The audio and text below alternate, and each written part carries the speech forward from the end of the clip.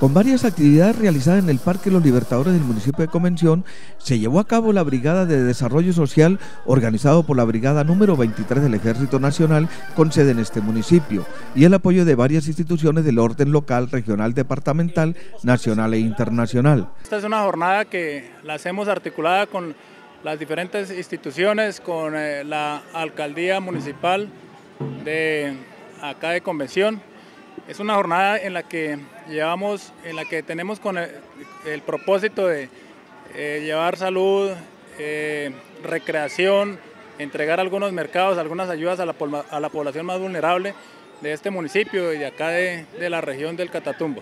Sin el apoyo de la alcaldía de convención no se habría podido llevar a cabo la brigada. Asimismo, el respaldo de las instituciones invitadas. No solamente el ejército se enmarca en brindar seguridad a la población, también en darle otras opciones de integración a través de esta jornada, cuyos beneficiados son las comunidades más vulnerables de la región. Ha sido toda una articulación con con instituciones del Estado y con empresas que gracias a ello podemos eh, sacar adelante esta jornada de apoyo al desarrollo. La vinculación de la Alcaldía Municipal de Convención fue fundamental para el éxito de la jornada social, la cual tenía como enfoque especial la salud. Por tal razón, se vieron muchos niños, jóvenes, adultos y adultos mayores haciendo uso de algunos servicios médicos trayendo la posibilidad a muchos convencionistas de acceder a algunos servicios médicos que normalmente digamos, es una de las dificultades más grandes y de las falencias y debilidades que tenemos en nuestro territorio. Por eso le agradecemos a nuestro Ejército Nacional esa vinculación y ese apoyo, al igual que a las diferentes instituciones que hoy en día se congregan en torno a esta actividad. La educación es fundamental en el desarrollo de los pueblos. En la zona del Catatumbo son muchos los bachilleres que no acceden a la educación superior. El burgomaestre se mostró sumamente complacido con la idea del complejo universitario para esta zona.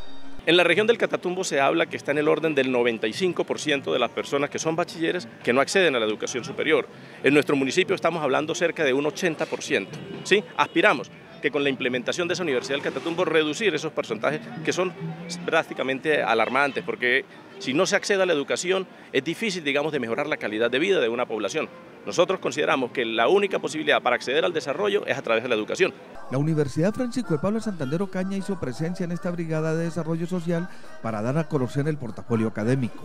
Estamos dando a conocer el portafolio académico de pregrado, de posgrado y también de los talleres libres de, que se ofertan en la Escuela de Bellas Artes, para de esta forma eh, mostrar eh, todo lo que nosotros tenemos Además de la oferta académica, la universidad se vinculó con dos grupos estables de música, el de tamboras y papayera, que los asistentes al parque principal disfrutaron con sus piezas musicales, recibiendo como retribución sonoros aplausos. La idea es transmitir al público esa buena energía y positivismo para, para que ellos se sientan agradables y que todo se haga pues, en bien para todos. En extensión, eh, asistiendo a todos los pueblos cercanos y a toda la comunidad ocañera.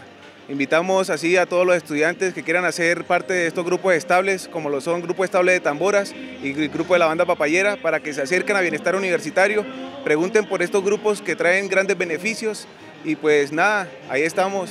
La dirección de la universidad, bajo la conducción del magíster Edgar Antonio Sánchez Ortiz, autoriza para que la institución haga presencia en cada una de las actividades programadas, no solo por entidades locales, sino de la provincia de Ocaña y su zona de influencia.